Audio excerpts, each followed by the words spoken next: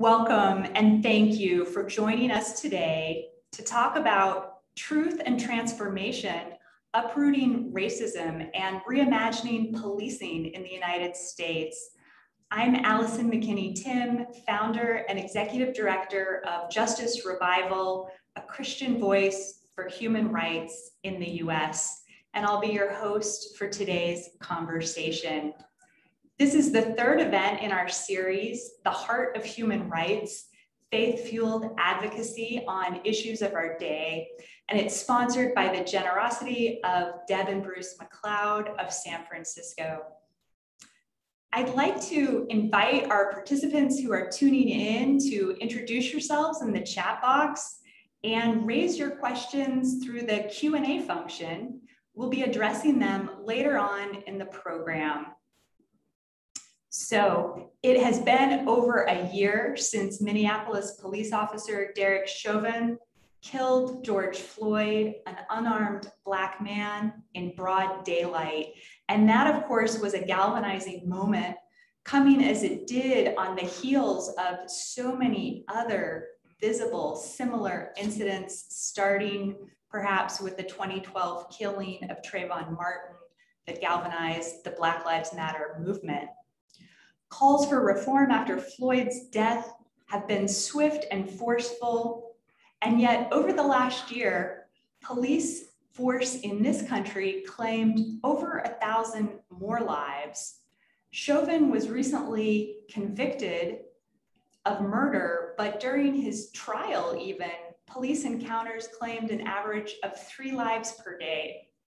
The risk of lethal violence, we know, falls disproportionately on Black and Brown communities. Black individuals in this country are more than twice as likely as white individuals to be killed by police when they are unarmed. As people of faith and conscience, we can't profess a belief in the sacredness of human life and ignore the ongoing crisis of police violence. So the slow pace of reform has many looking outside our US justice system for answers and for accountability. Many of us seek wisdom and comfort in our faith communities. Others are looking to the global human rights system for principled accountability. Faith on one hand, human rights on the other, each give us ethical frameworks from which we can critique and respond to what's happening in our country. And our conversation today lies at the intersection of both of those ethical systems. So please join me in welcoming our expert panel of guest speakers. Ms. Nicole Austin Hillery is the US Executive Director for the US program at Human Rights Watch. She leads their response to human rights violations and abusive systems in this country including problems in our criminal justice system, as well as economic inequality. Reverend Terrance M. McKinley is Director of Racial Justice and Mobilizing at Sojourners, the nation's largest Christian messaging and media organization, where he provides leadership to advocacy and mobilization efforts that mobilize people of faith to fight racist systems He's also senior pastor of the historic Campbell AME Church here in Washington, D.C. So again, a warm welcome to both of our esteemed guests. And let me start um, by asking you, uh, Reverend Terrance, um, what would you say looking back on the last year have we seen change in response to the calls for reform? What are your thoughts? Well, first of all, let me just say thank you to uh, to you, Allison, and to uh, Justice Revival for uh, the invitation to be a part of this incredible panel today, and uh, to my colleagues. It's it's wonderful to be in conversation with you uh, this this afternoon. Um, you know, one year after the death of George Floyd, um, we do have to ask ourselves the question: How much has really changed? Um, we we hear the statistics that you have lifted, and it um, it it begs it begs that question. I think that um, we can acknowledge that number one, one of the great things that has come out of this moment is that there's been a renewed urgency uh, by persons uh, across communities and across color lines to see justice for Black and Brown persons who are um, uh, disproportionately targeted by law enforcement. Um, we have seen a movement that has been uh, uh, created, we hope, right? I often talk about this movement as feeling like I have a cautious optimism because it looks like it could lead to transformation and change if it is sustained. Um, but but we have to continue to pr- put pressure in order for uh, real change to occur. Uh, so that's that's how I view it on the national scale. And the only the other thing that I would mention is right here in Washington D.C. We lead a piece of work around our theology and racialized policing program, and we've seen pastors that have been engaged in this work that are uh, leading efforts in their own cities and neighborhoods uh, to address it. And uh, we have these on the ground examples of, of persons that are seeking to bring change in their own way. I want to ask you even more about that a little later on. Let me welcome Professor Justin Hansford, our third panelist, joining us now. He's executive director of the Thurgood Marshall Civil Rights Center at Howard University School of Law.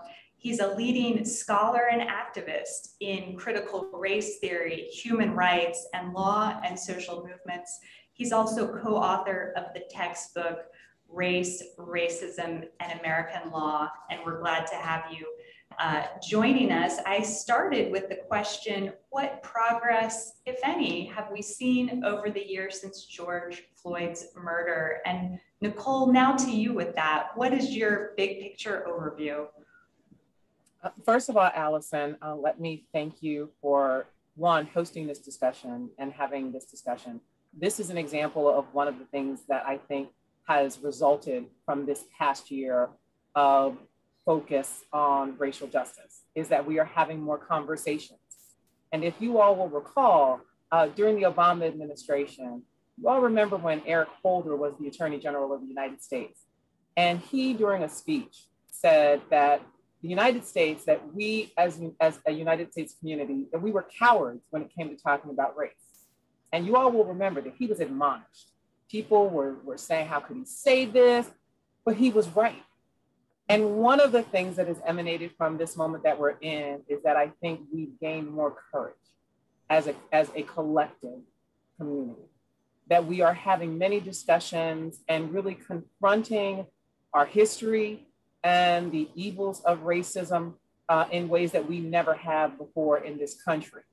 Now, mind you, that is not a solution to the problems, and talking by itself is not nearly enough, but it's a beginning point.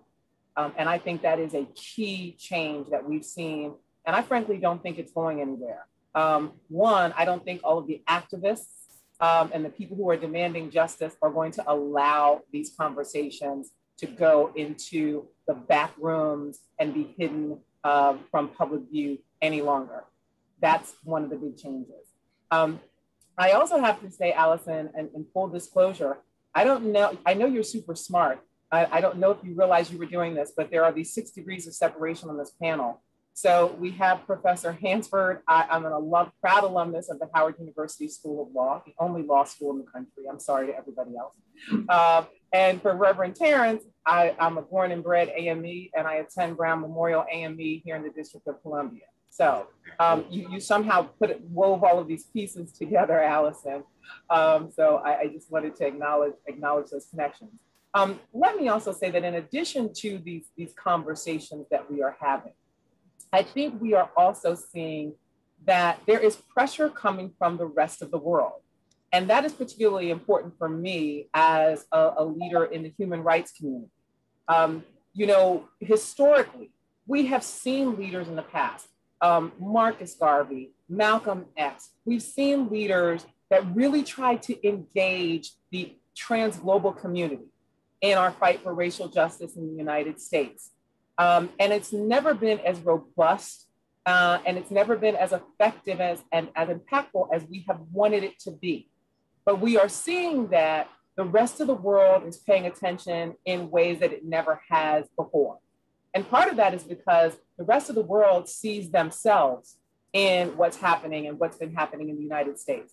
I can't tell you how many conversations I've been a part of where people have said, yes, because of what happened to George Floyd, because of what happened to Breonna Taylor, um, because of Ahmaud Arbery, we are able to look within our own communities and we have been taking to the streets and we have been having these conversations and demanding more. That's one of the big changes, too. And again, I think both of those things coupled together have created a foundation from which we can really build um, that I think has created tremendous momentum. And I don't see us going there. So, increased mobilization, social demands for change, trans local activism, communities, not just here in this country, but around the world, concerned about police killings such as George Floyd suffered. Uh, Justin Hansford, over to you. Have you seen change in the last year? And I'll add, how much did the conviction of Derek Chauvin matter in the in the call for reform? Well, well, Allison, first, thanks for inviting me. Um, I'm, I'm very honored to be on this panel with such, um, you know, very well, you know, well-informed panelists, and of course, my fellow alum, uh, Howard Bison. I I think a lot has a lot has changed. A lot has changed for the better. Some some things have changed for the worst. Uh, at least from my perspective, as someone who wants police reform, in in uh, the state of Maryland, right here, um, where I am right now, and um, also in Virginia and New York, we've seen new uh, use of force policies passed on the state level, increased independent oversight of police agencies. Colorado uh, stripped police officers of a legal protection known as qualified immunity, which protects officers from most civil lawsuits, making it really impossible to create any sort of uh, civil legal incentive for police officers to stay within the bounds of the law. But then at the same time, you have other states, and I, I to be honest, Republican controlled states in Oklahoma, Florida, and Texas that have gone in the exact opposite direction. We've seen the passage of so called anti rioting bills, which are to be honest, anti uh, protest bills targeted at um, making sure that Black Lives Matter protests will be more at risk. Uh, arrests are upgraded to felonies. In some of these states, you can even uh, hit uh, people who are blocking the road with your car, and they, there's there are protections for that. We've seen uh, this push to ban critical race theory from uh, schools. I know that's something people may have heard about. And I've even there, if I may, because mm-hmm. I know this is an area of deep expertise for you, Justin. Can you just, for people who aren't familiar, give a quick definition of what critical race theory is and why it's important? Sure. Critical race theory is a, a way of understanding the law that makes visible how uh, race and power and inequality intersect with our legal system.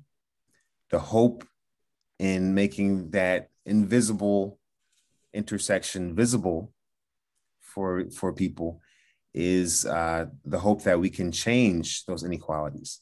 I have to say, I've seen articles in the news. I've seen even politicians say things like critical race theory is is anti-biblical. Critical race theory teaches everyone to be Marxists and and is you know is is against God. It's it's been terrible to hear some of the things that have been said about a, a field of research, a field of study that I've studied for about uh, 15, uh, almost close to uh, 20 years, to be honest. And um, just like any other field of study, you have hundreds of scholars in any academic field, you know, I, I don't know how you could ban math or ban soci- sociology, but people want to ban critical race theory. And this is, it's really a desire to ban the study of racism. And, and we know that the Southern Baptist Convention has um, seen this conversation with many pushing back strongly against critical race theory. Maybe um, maybe you want to say a, a, word on that, and we can ask our other panelists to weigh in too. Sure. Well, you, you know that you know that that conversation is is, is close to my heart, um, and um, I have a uh, uncle who is a, a pastor in Plano, Texas, and we've had many conversations about this. This this uh, this moment that we're in, many people are calling it a moment of racial reckoning. Is a moment where people, if you think about Tulsa, Oklahoma, you're thinking about you know Juneteenth. People are having to look at what has happened in our past for many people for the first time. Unfortunately, many people never heard of Tulsa before this year. They never heard of Juneteenth, and now it's a federal holiday. The question we should be asking is why have we never heard of these things? Why were we never taught these things? As opposed to asking, how can we ban schools from teaching about Juneteenth or teaching about Tulsa? How can we make sure that people in the future don't get taught these histories because we we fear that the histories may be uncomfortable or divisive. I, I to me, it's similar to uh, hearing someone say you may have a um, you know a heart ailment or some sort of disease, and you say, well, don't tell me about it. I don't, you know, don't, you know, don't give me a diagnosis. I want to go and run my marathon. Don't tell me about any problem that may be there with my heart. I don't want to know surprise, surprise, if you do that, you're going to be in trouble once you get on that racetrack. So I, I think that that's that's really what's at stake. I think um, that has been a driver for the other bills that have been passed in these states pushing against Black Lives Matter protests, and of course, we have not even mentioned that the vote, the voter rights uh, situation. But all of these things are being driven by this idea that we don't want to hear from you. We don't want to hear your voice, as opposed to having an impulse saying that, okay, we know that some of the things that may come out of this conversation will be hard truths. That mm. will make us feel uncomfortable when we hear them. I'm going to get a bad diagnosis. I'm going to learn about a disease. The solution should be find medicine as opposed to avoid hearing about the disease. Yeah. Absolutely, absolutely. And and from a just a really straightforward New Testament textual perspective, we have the truth will set you free as a, a word from the New Testament. Maybe that's a good pivot um, back to Terrance. I know you've thought a lot about what a Christian theology of policing would look like. So I wonder if if you could weigh in um, on your thoughts of what a Christian theology should include. And maybe that relates to critical race theory, um, because I imagine the experience of critical race theory has been quite different from the perspective of the African Methodist Episcopal Church. Yeah, so it's it's something that is uh, very um, ex- it's exciting for me. Uh, let me just uh, quickly just point to just my um, passions around the critical race theory piece. So um, when we think about the anniversaries that we just celebrated with the 100 year anniversary of the Greenwood uh, um, massacre, uh, the Greenwood is, is sort of a, a perfect picture about of why we need to really be thoughtful about where we're going in this nation as it relates to truth telling. And Allison, you said it powerfully. You said uh, New Testament tells us that you shall know the truth and the truth shall set you free. Uh, I had an opportunity to interview one of the descendants uh, of the uh, Green of the original persons who lived in Greenwood, uh, Jacqueline Blocker, and she talked about how she how she and her family she didn't even know about what had happened uh, in Greenwood and how her family was impacted um, uh, at, until she was an adult. Um, you know, we have this moment where it wasn't just a mob, right? It was it was uh, the police force in that town uh, deputized the mob, and so you have state sanctioned violence against the people of Black Wall Street, right? That that's a truth that we need to tell uh, for for two reasons. One, we need to know uh, what happened to the people there, but we also need to we need to be reminded of the great things that were built there and the history and the, the legacy of those who built Black Wall Street. Um, and so uh, that's that's sort of one piece. Um, this idea uh, of thinking about uh, a theological uh, uh, how we think about policing and towards a, a, a Christian theological uh, perspective.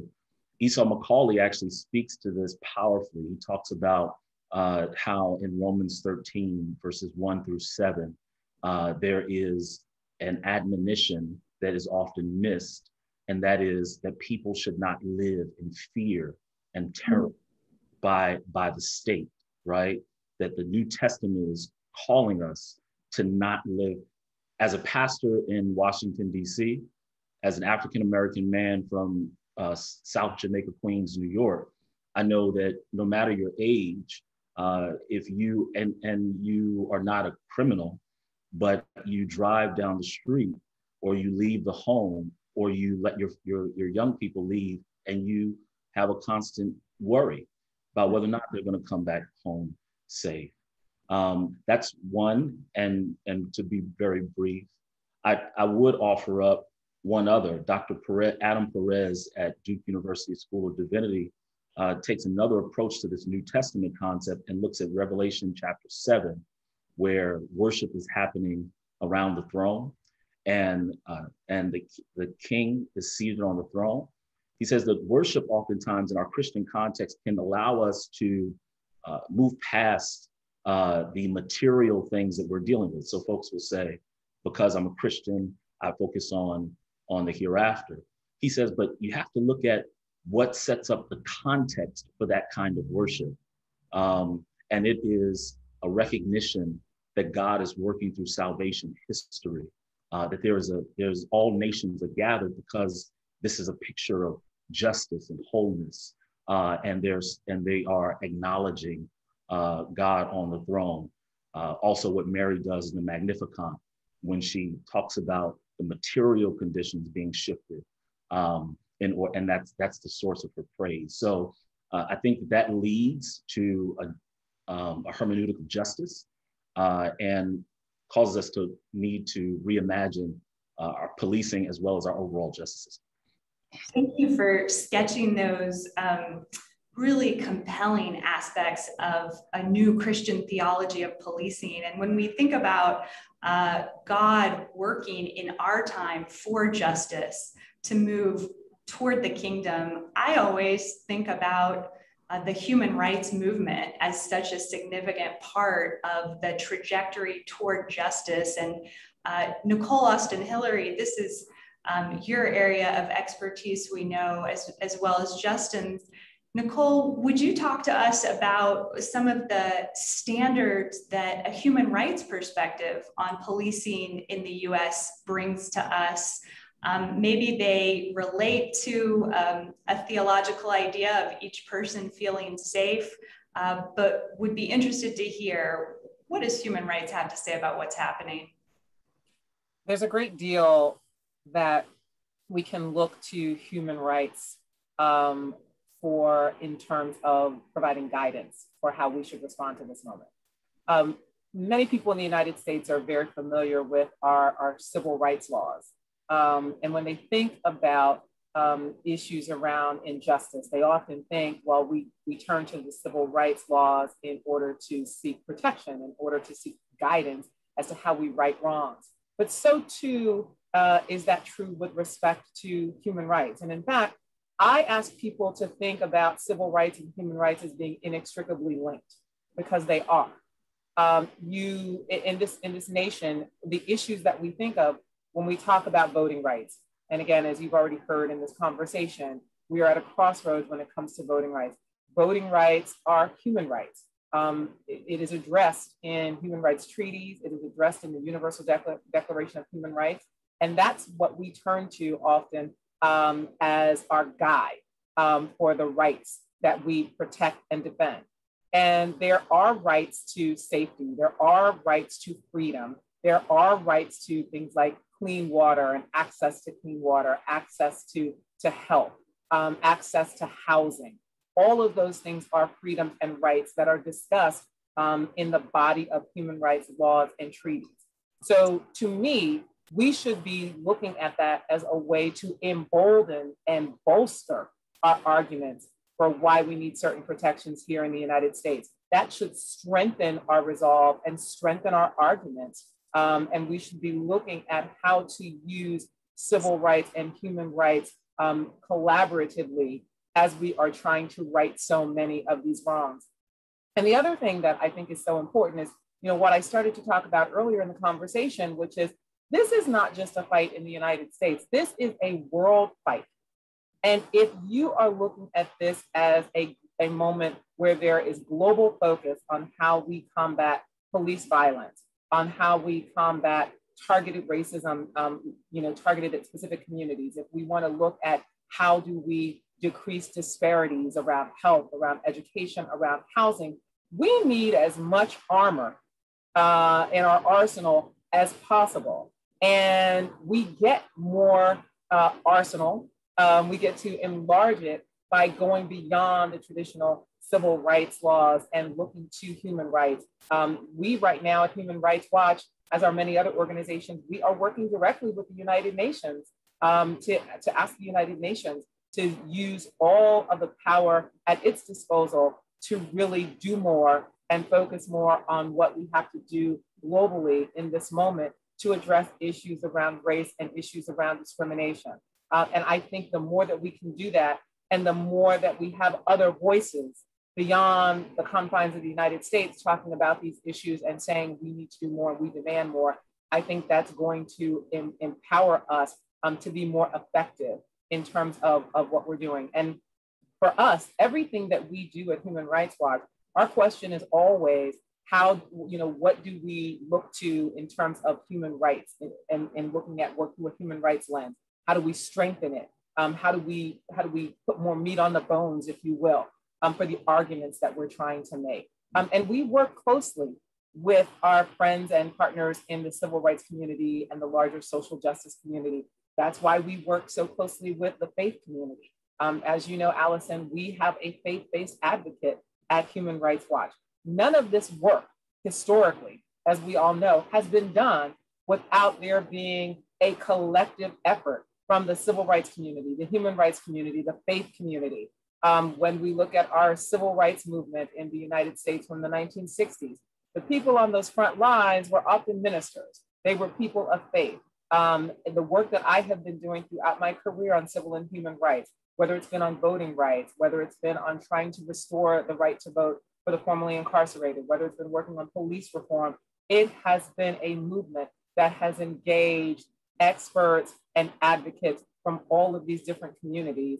And that's what it's going to take. And we have to recognize that there are benefits and expertise that come from all of these different areas and bringing them together collectively is how we are going to be as empowered as, as possible to really make change we need all the tools we can get. It, it, seems clear. And when we do look at the US situated in a global perspective, we know that um, peer countries do not experience the levels of lethal police force that we do here, and that, that no. some of those statistics are striking. I also wanted to mention to make the connection for viewers who might not be aware that there was a significant faith movement that um, contributed to establishing protections for human rights at the United Nations.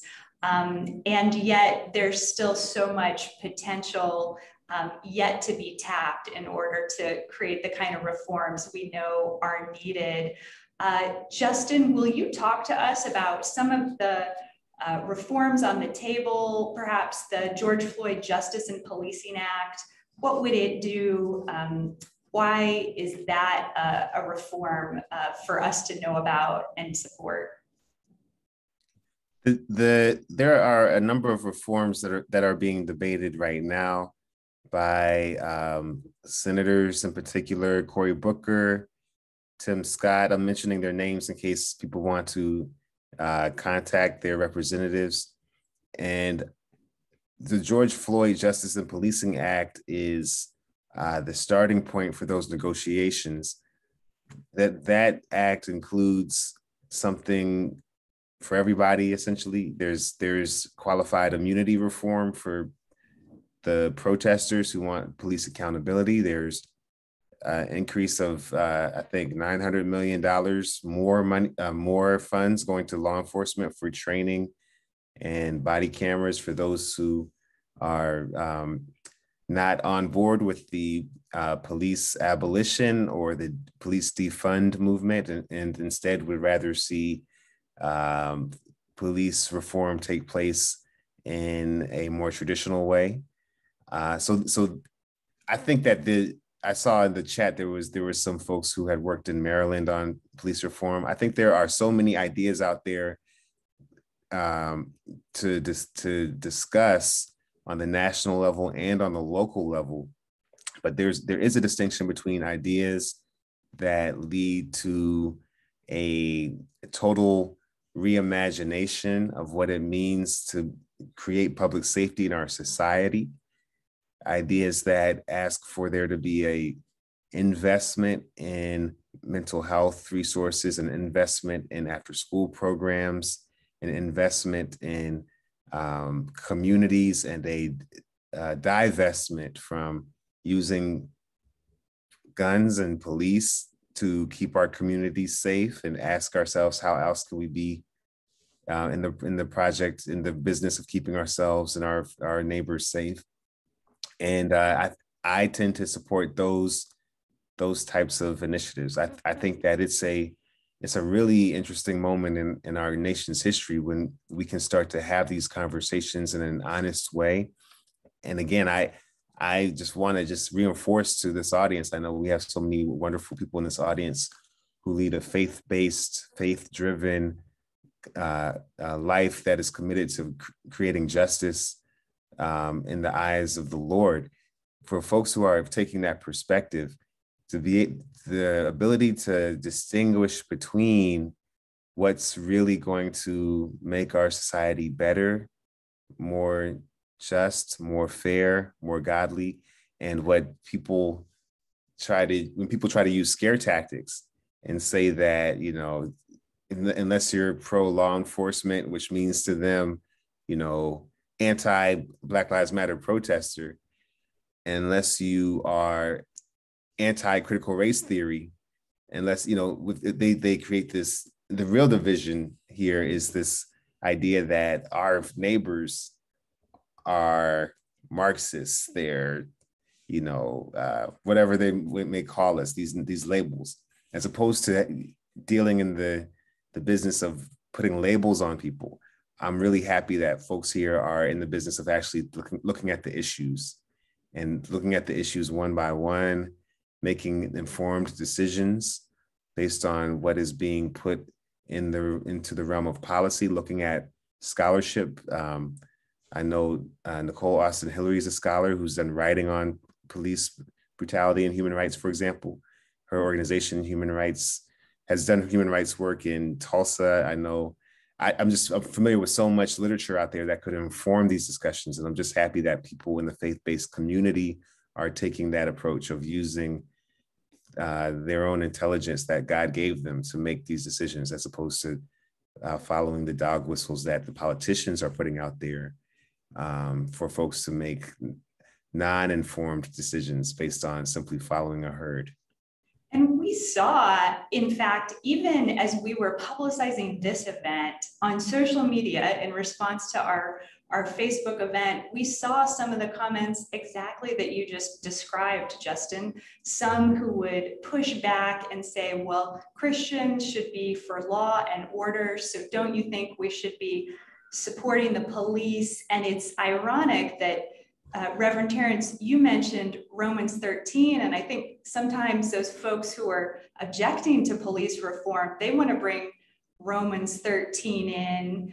Um, they might not know about the global legal framework that also um, gives us some instruction about what it means to, to follow legal principles. Um, but Reverend Terrance, based on your work um, in your church and with other churches through Sojourners, you know, what would you say to U.S. Christians who um, might be on the other side of this conversation about police reform? Do you have a message for those folks? Sure. So if I'm speaking to Christians, I say that particularly when it comes to uh, police reform and qualified immunity, that it's not just a legal issue, it's a theological issue.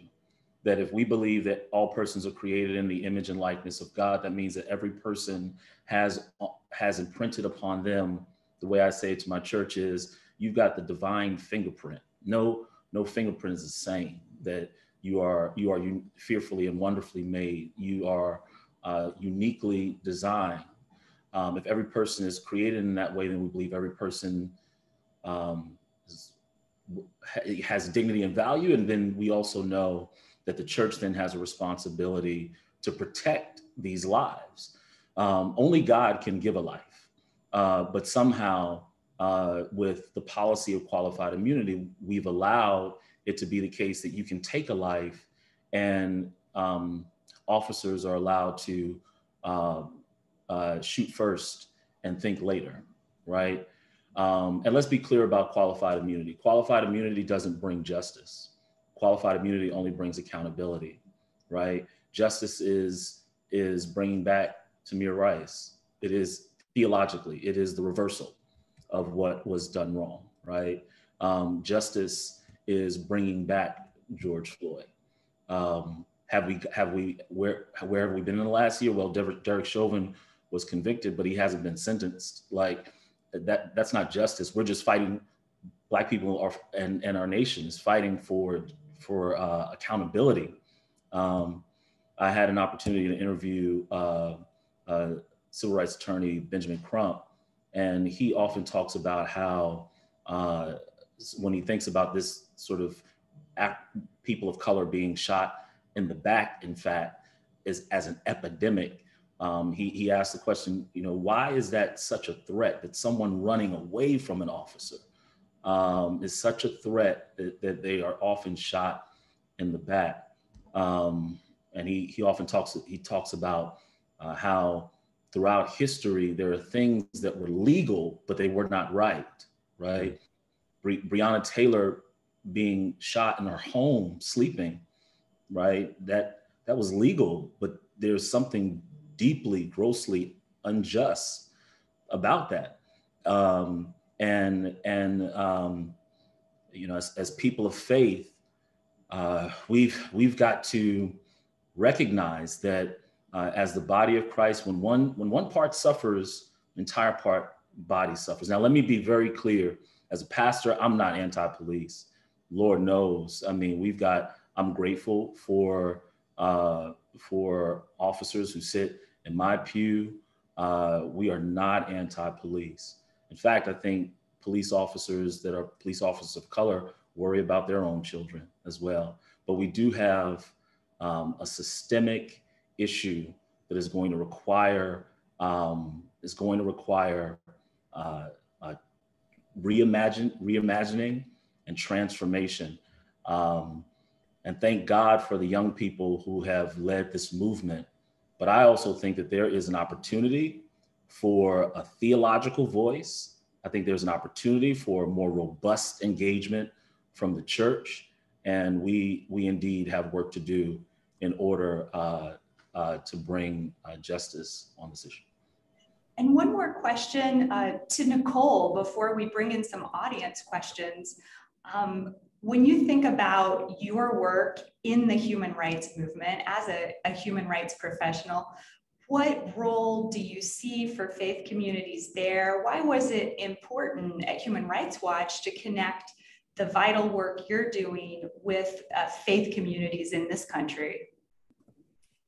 Well, Allison, you know, as, as I alluded to earlier, throughout history in the United States, the faith community has been on the front lines for every major fight and movement for human and civil rights and social justice in this country.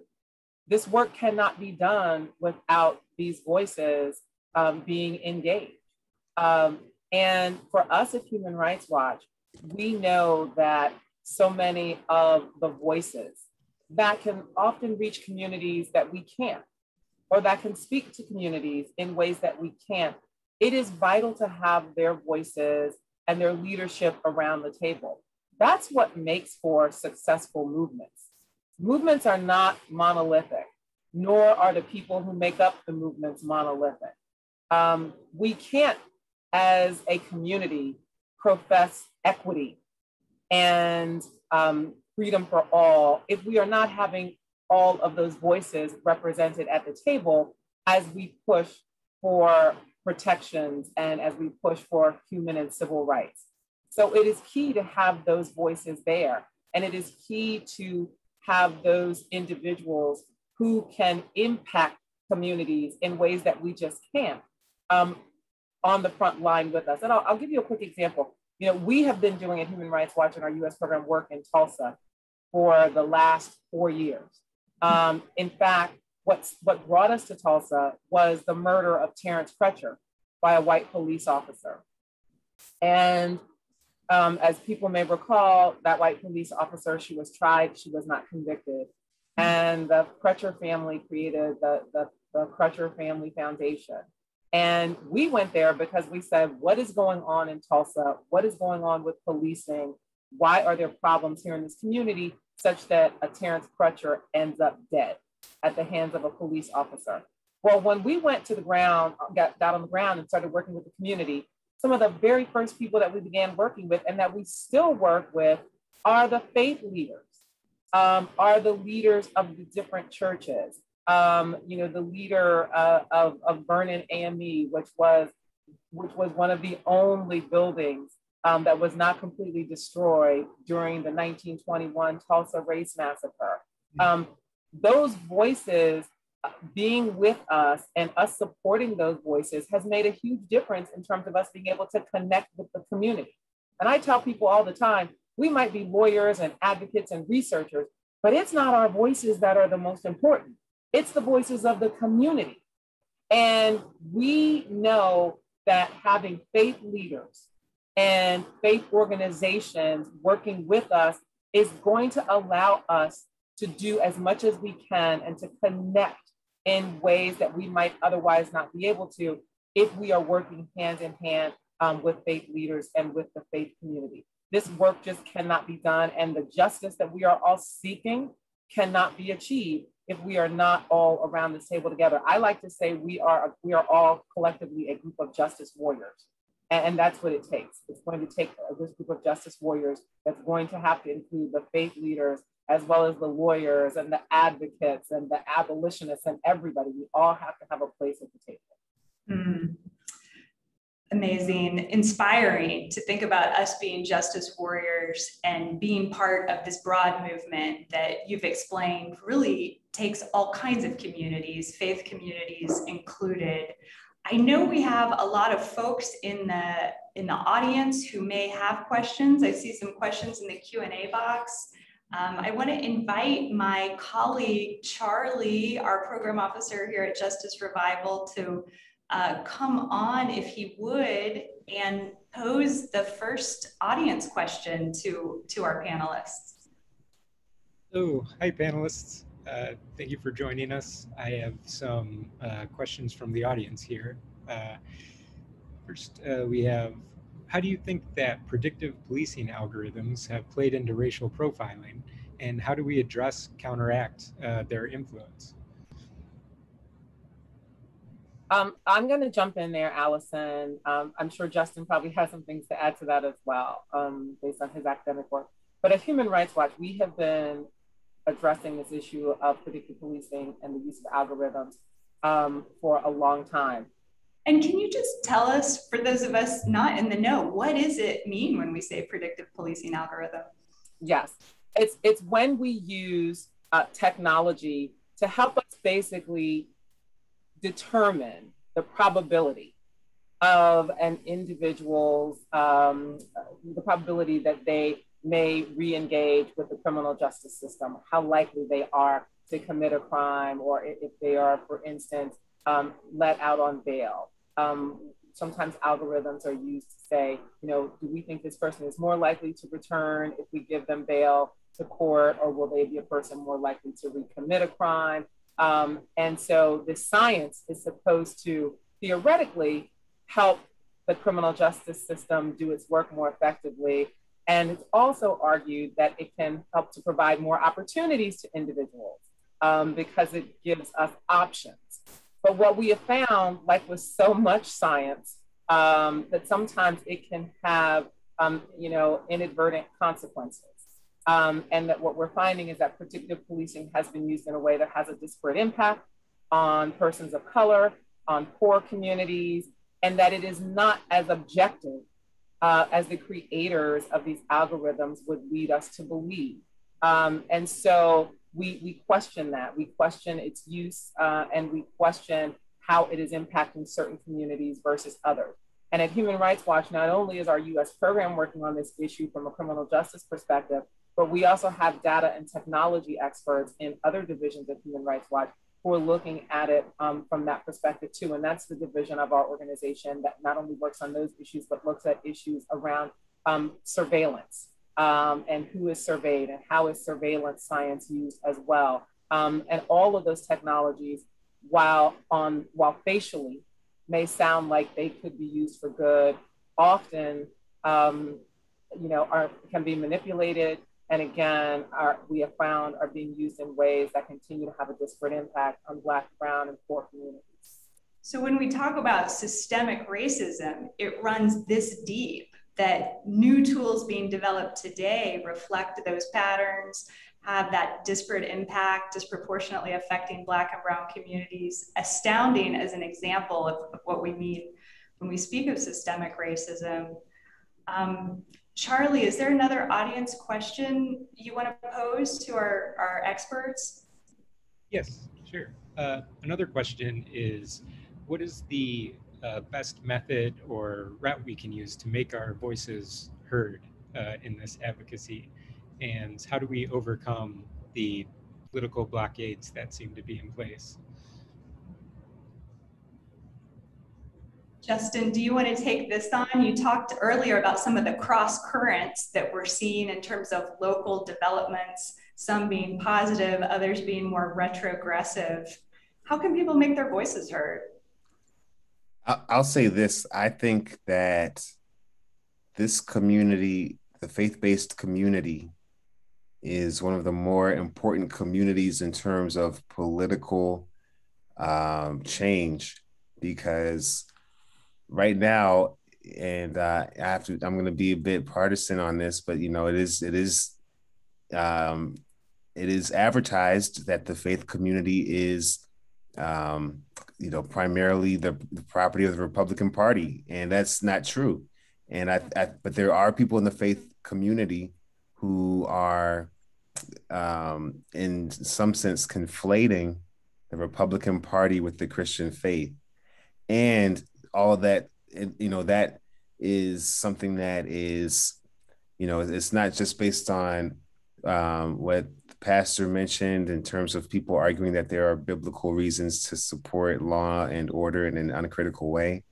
I know there are a number of other issues that people have used to, to draw a fine line uh, uh, from a partisan perspective arguing that you you know you're not uh, in some way, shape, or form living up to your faith unless you vote for a particular party.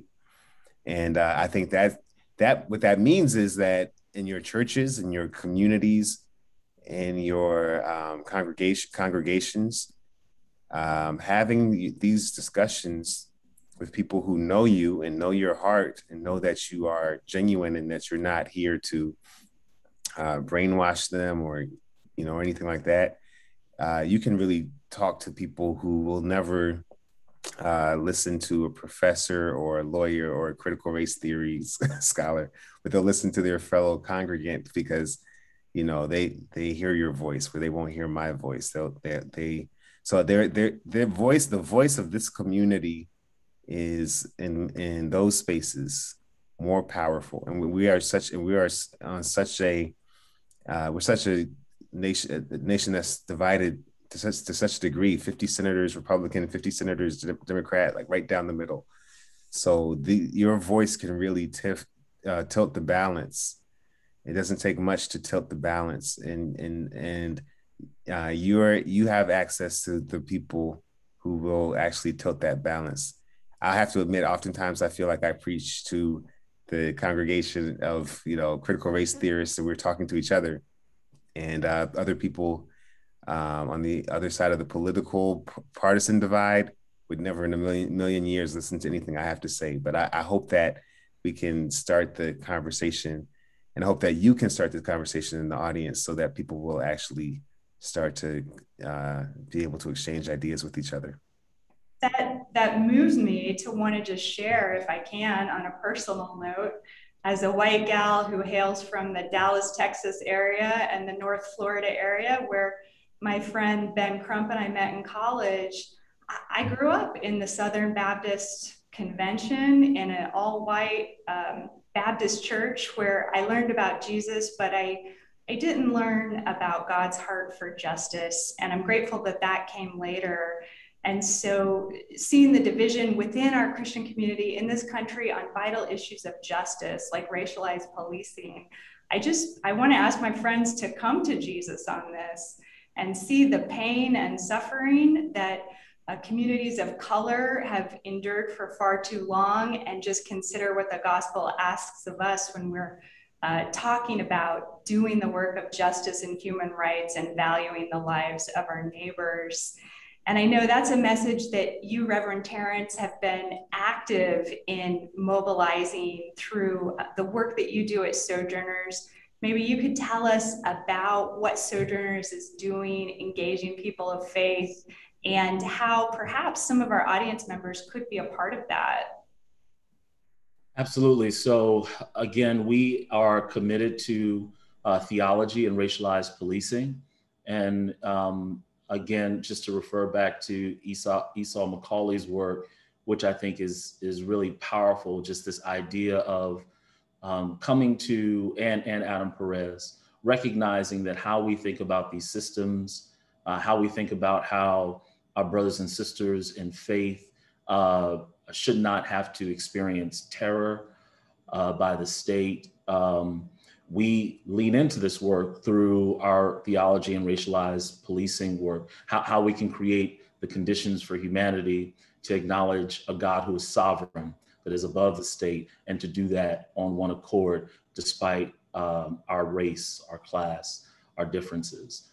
And so uh, we have um, uh, piloted a program here in the Washington, D.C. area uh, in 2020 uh, with 50 pastors uh, in partnership with Howard University School of Divinity over the course of about nine months. We all walked through uh, this I this um, the this rich rich resources around uh, these these issues of theology and racialized policing.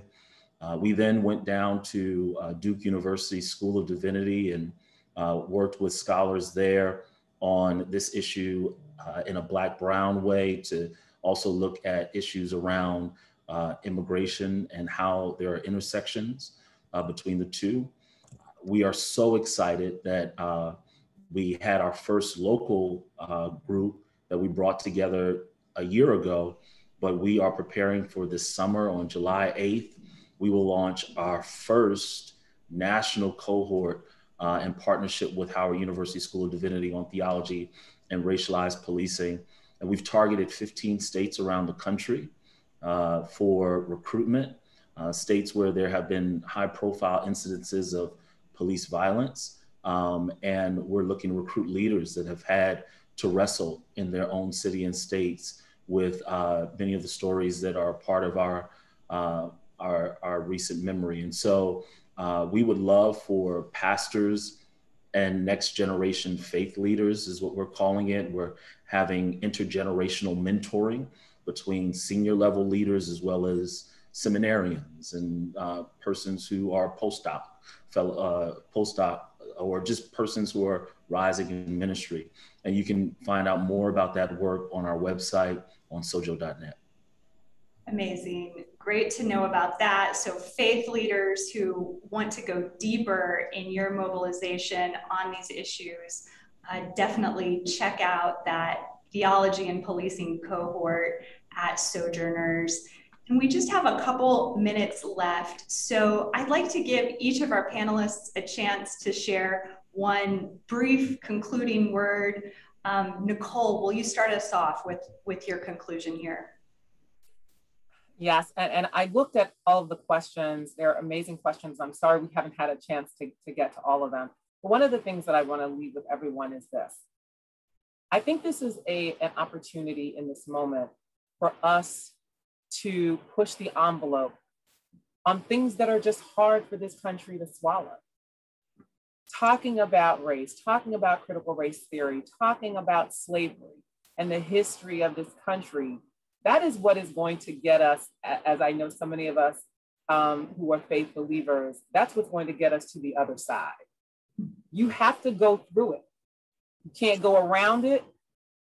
You can't ignore it. You have to go through it. And this is a journey that we as a nation and as a community, a world community, have to go through.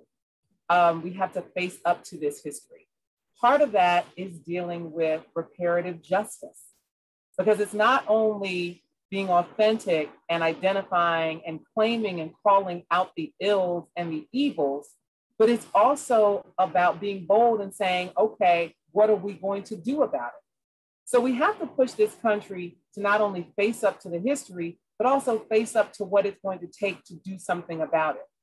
We at Human Rights Watch, um, as well as many of the group, faith groups, are walking the reparations walk because we think that has to be a vital part of how this country tries to not make amends because you can't make amends, but how this country can start to begin to heal uh, and to try to make communities as whole as possible, despite the history of degradation and discrimination and pillaging. We want people to go to their leaders, to go to local leaders, to go to national leaders and say, we demand that you have this discussion. We are pushing right now to move a bill in Congress House Resolution 40, that simply asked for the creation of a commission to study the issue of reparations and the history of slavery in the United States.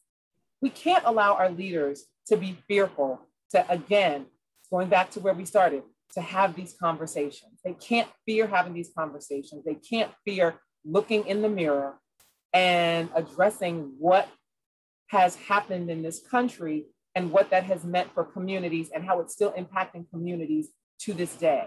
So I would urge everyone to be bold and demand that we do the hard work and that we push our leaders to do the hard work. One of the things that I've said about Juneteenth, and I'll end here, Allison, I think it's wonderful that we have a Juneteenth holiday, but do not allow our leaders to behave as though giving us a federal holiday is the end of it. That's just a springboard. There has to be something behind that. And what has to be behind that is doing real work around reparations and the whole bevy of reparative justice that it's going to take to bring about freedom and equity in this country. Mm. A resounding call to be bold in seeking transformation, not just small incremental reforms, not just holidays big change. Justin Hansford, your your brief concluding word for us. Yeah, I, I don't really want to follow that. I think Nicole um, really articulately explained the situation and our next steps. I put a link to our website in the chat uh, for anyone who's interested in the work we're doing at the Thurgood Marshall Center. We focus on police violence and reparations and uh, a few other issues as well. And I think that um, it's as I, again, I can't say it better than Nicole said it. I think that moving forward, we have to work together. We have to reach more communities. It's, it's clear that as much as we've made progress over the, the previous year we are not at the place uh, politically, as a community, as a nation, to overwhelmingly, resoundingly get the reforms we need to create a more just uh, society. I'm happy to learn about the things happening with uh, Pastor McKinley's work with Sojourners. And I know, Allison, you're doing great work, and we're going to find ways to work together um, in the future. I know we are. And, uh, yeah, and I'm, I'm hoping that anyone here in the audience who wants to collaborate will also reach out to us and uh, be eager to do so. I'm, I'm definitely eager to work together. And Terrance, your concluding word for us? Sure. So I'm going to yield my concluding word to uh, Gayraud S. Wilmore, who is a theologian and ethicist who went home to be with the Lord in 2020, who said that embedded within the Black religious tradition are the tools and resources for survival, elevation, and liberation. And I would even say beyond the Black religious tradition, but in our faith. For him, survival was just the sheer ability to hold yourself together, that faith holds us together, right? That uh, elevation uh, in, in the Black religious tradition was, uh, it was, the faith was always a ladder out of whatever you've been in. Uh, and liberation. that You cannot understand the New Testament without understanding a liberating Jesus. Uh, when I think about racialized policing, when I think about justice reform uh, and what we need to do to address the system, when I think about over 360 laws that have been implemented in states to keep persons of color from the ballot box, when I think about how there is an overarching erasure of our history uh, and an effort to uh, keep us from knowing uh, about the pain of our past and which could lead to repeating those mistakes. Uh, I know that we need people of faith to be energized, um, to recognize that we have a part to play, um, and for us to hold on to our that liberating, powerful, powerful faith. Very last thing, uh, every pastor has to say, I'm going to close at least twice.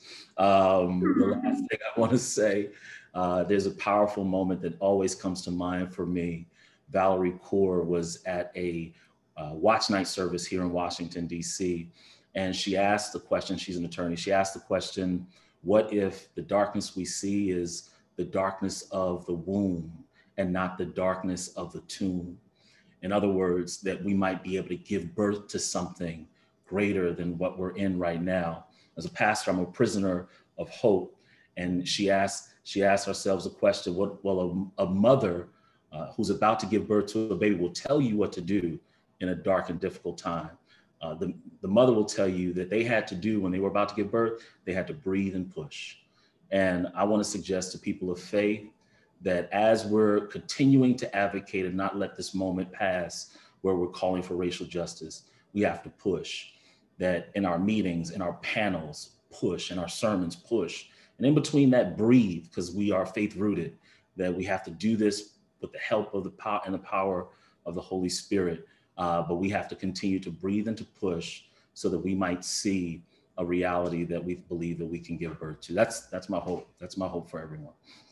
Thank you. So inspiring, all of our guests. We've been talking about truth, justice, liberation, reparations uh, thinking about that banquet table in Revelations and knowing that the work of justice in the world is needed to get us to that great day. Thanks for everyone who's joined us, um, especially to our esteemed guest speakers, Nicole Austin Hillery of Human Rights Watch, uh, Terrance McKinley of Sojourners and the African Methodist Episcopal tradition, Justice Justin Hansford, uh, rather, of the Thurgood Marshall Center at Howard University School of Law. We have been uh, fortunate and blessed to hear from you all today. Um, thank you again, and uh, let us do continue to, to stay united in the work of justice. You're welcome, Allison. Thank you for having us. Thank you. Thank you all.